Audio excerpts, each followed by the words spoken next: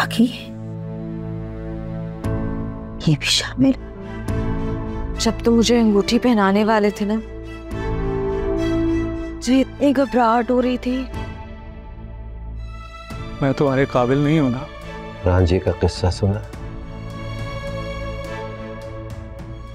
जोगी हो गया था हीर के पीछे। आगे आगे देखिए होता है क्या? आग आतिश तूफ़ान।